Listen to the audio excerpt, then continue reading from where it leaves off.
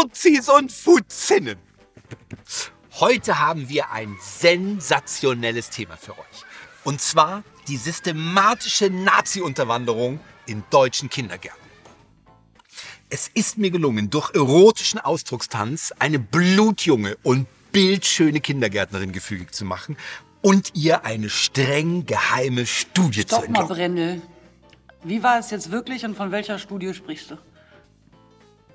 Es war genau so. Willst du etwa an den Worten deines Herrn und Gebieters zweifeln? How dare you! Pass mal auf, Brendel. Entweder du hörst jetzt auf mit dem Scheiß oder du bekommst in der nächsten Sendung deinen alten Wackeltisch zurück. Na, das mit der blutjungen Kindergärtnerin war vielleicht ein bisschen geschwindelt. Gab es überhaupt eine Dame in dieser Geschichte? Eigentlich nicht. Ist die Studie wenigstens neu und echt? Eigentlich nicht. Okay, Brendel, was ist das denn jetzt für eine Studie? Lieb, dass du fragst, mein Schatz. Es handelt sich um die Studie Ene Mene Mu und raus bist du. Vor ein paar Jahren herausgegeben von der Amadeo Antonio Stiftung.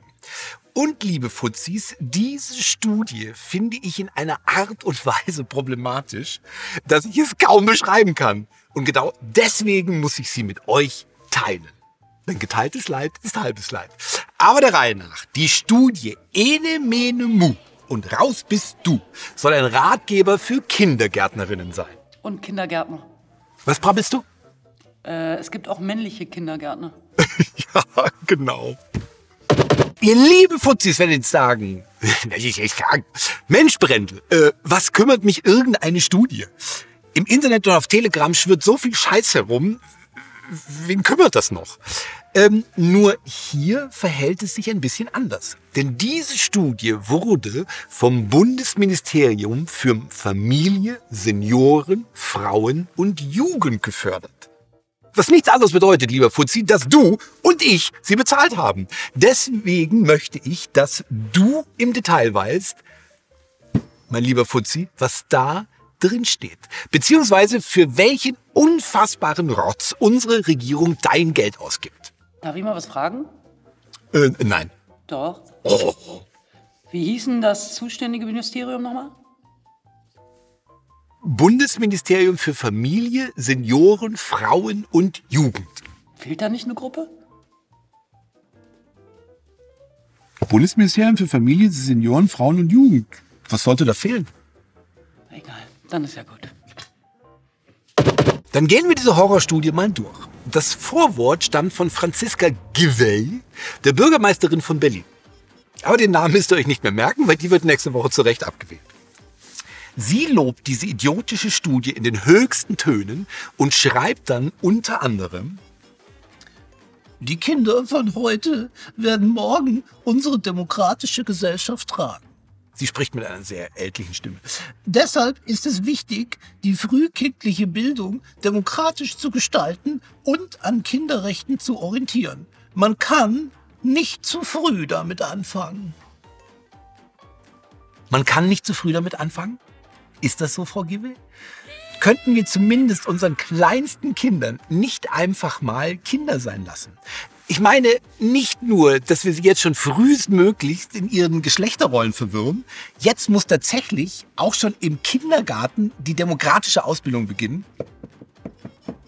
In meiner Kindergartenzeit hat mir der dicke Walter aufs Maul gehauen und da ich relativ schnell gewachsen bin, äh, habe ich mich später gerecht und seine Überreste im Sandkasten verbuddelt. Das nenne ich eine gelungene Kindergartenzeit.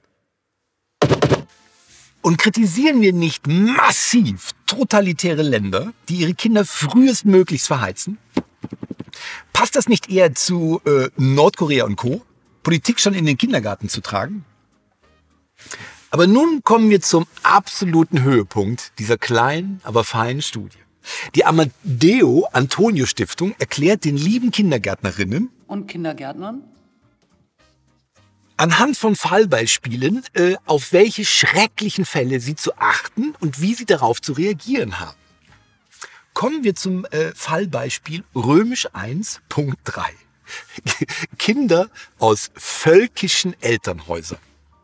Ich wusste gar nicht, dass wir das Wort völkisch wieder benutzen, aber nun gut, die tolle Stiftung wird es wohl besser wissen. Also, Kinder aus völkischen Elternhäusern.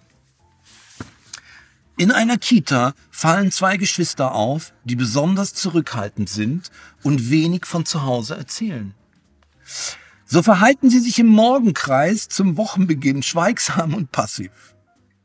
Gleichzeitig gibt es keine sogenannten Disziplinprobleme. Diese Kinder scheinen besonders gut zu spuren. Außerdem, wie ein Mercedes-Benz, die Spuren. Äh, außerdem sind traditionelle Geschlechterrollen in den Erziehungsstilen erkennbar.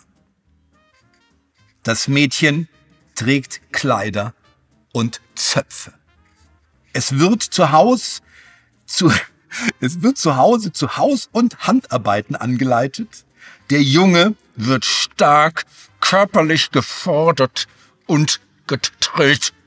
Beide kommen häufig am Morgen in die Einrichtung, nachdem sie bereits einen 1,5 Kilometer Lauf absolviert haben.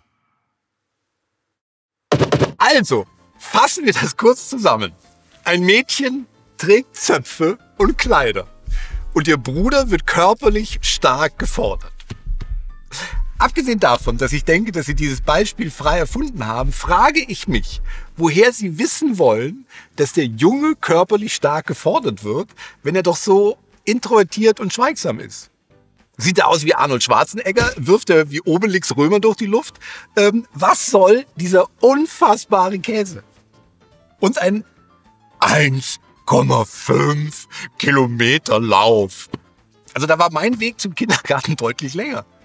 Nach dieser Definition bin ich quasi in einem Nazi-Kindergarten groß geworden. Und der dicke Walter und ich müssten heute eigentlich an der Spitze der NPD stehen.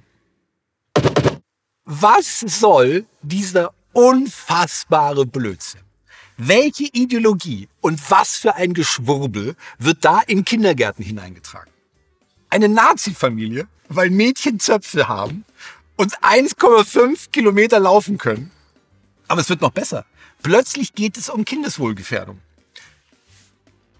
Im Kontext der pädagogischen Arbeit mit Kindern, die in rechtsextrem organisierten Familien aufwachsen, geht es auch um die Diskussion einer möglichen Kindeswohlgefährdung. Und so kommen wir von Zöpfen mal ganz schnell zum Jugendamt. Wie wohlstandsverwahrlost kann man sein, dass man sich einen solchen Unsinn ausdenkt? Die ganze Studie liest sich, als würden überall durch Deutschland uniformierte Nazi-Horden marodieren, die den Staat gewaltsam übernehmen wollen. Dabei sind die rechtsextremen Straftaten von 2020 auf 2021 um fast 7% zurückgegangen. Außerdem gab es 2021 auch über 10.000 linksextreme Straftaten. Davon jetzt ja auch nicht komplett vernachlässigen. Und wer weiß, wie das nach Lützerath und einem Jahr voller Klimakleber aussieht eben, eben, eben, eben. So. Aber der haarsträubende Unsinn in dieser Studie geht noch weiter. Kommen wir zum nächsten Fallbeispiel. In der Elternvertretung engagiert sich eine Mutter, die mit ihrer Familie vor eineinhalb Jahren in den Ort gezogen ist. Sie hat sich dafür eingesetzt, dass der Spielplatz im Ort von den Eltern in einer Gemeinschaftsaktion repariert und wiederhergestellt wird. Sie hat mittlerweile viele Freund innen im Ort. Auf der Elternversammlung wirft sie die Frage auf, ob die Gruppenräume nicht mal gemalert und in diesem Zusammenhang neue Bilder aufgehängt werden sollen. Ten, sollten. Sie würde gerne Fotos aufhängen, auf denen unsere Kinder zu sehen seien. Solche Kinder, wie auf den jetzigen Bildern zu sehen sind, haben wir hier doch eh nicht, sagt sie. Viele Eltern finden das nachvollziehbar. Soweit so gut. Aber laut der Studie aus der Hölle geht das gar nicht. Denn diese Fallbeschreibung zeigt, zeigt, wie auf subtile Art und Weise sprachlich eine Unterscheidung zwischen unseren Kindern, wir, und anderen Kindern Fremde, nicht dazugehörig, entsteht und in den Alltag eingeschrieben wird. Eingeschrieben wird. die Differenzkonstruktion zwischen wir und die anderen, ich muss ja die Stimme verstellen, Wir und die anderen ist die sprachliche, ist die sprachliche Basis für verschiedene Diskriminierungsformen wie Rassismus, Antisemitismus, Feindlichkeit gegenüber Sinti und Roma, Lesben, Schwulen, Trans, Sternchen, etc. So, also, eine Mutter schlägt vor, Bilder der Kinder aufzuhängen, die gerade wirklich im Kindergarten sind, also schätzungsweise ihren Kindern auch, und daraus wird ein Rassismusvorwurf gezimmert. Für so einen Buchstabenmüll werden unsere Steuergelder verschwendet. Fuzzi, deine und meine. Sag mal, geht's noch? Also dagegen sind ja Verschwörungstheoretiker, die glauben, dass wir von Kichererbsen regiert werden, weise Philosophen. Olli, ich glaube, es hat jetzt wirklich jeder begriffen. Von unseren Steuergeldern wurde eine lachhafte Studie finanziert. Mai, komm vor, aber was ist denn nun dein Punkt? Mein Punkt ist, dass sich hier eine Stiftung gegen Diskriminierung und Rassismus engagiert. Was großartig und wichtig ist. Aber sie sind dabei dermaßen fanatisch, vernagelt und verschwurbelt, dass sie selbst wieder für Ausgrenzung sorgen und Probleme schaffen, wo in den meisten Fällen überhaupt keine sind. Deswegen, liebe Kindergärtnerinnen, Und Kindergärtner?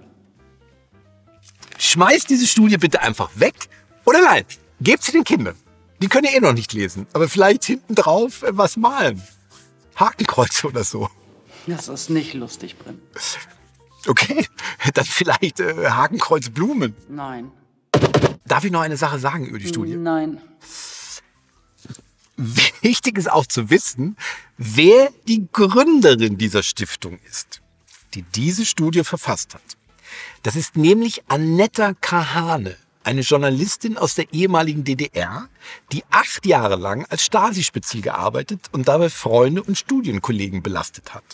Meine Güte, Brendel, die Frau war damals noch total jung. Hast du denn nie Fehler gemacht? Zum einen nein. Zum anderen ist jemand, der schon einmal eine Ideologie unterstützt hat, vielleicht nicht der Richtige, um re regierungsfinanzierte Studien herauszugeben. Die richtige. Die, der das Lirum Larum Löffelstiel. Sag mal, war's das für heute oder hast du noch was? Eine Sache muss ich noch ansprechen. Jemand hat im Internet das hier gepostet. Und diesem jemand möchte ich zurufen. So nicht, mein Freund. Ich möchte in einem Land leben, in dem Frauen noch die Freiheit haben, so hässlich sein zu dürfen, wie sie wollen. In dem eine Frau sagen kann, ich verzichte ab jetzt auf Geschlechtsverkehr und zwar nachhaltig und für immer. Das ist nur sozial und edelmütig. Schließlich bleiben dann mehr Männer für paarungsbereite Geschlechtsgenossinnen. So, das wollte ich nur gesagt haben. Vielleicht sollte ich in einer Studie äh, vor kleinen Mädchen mit nordkoreanischen Frisuren warnen.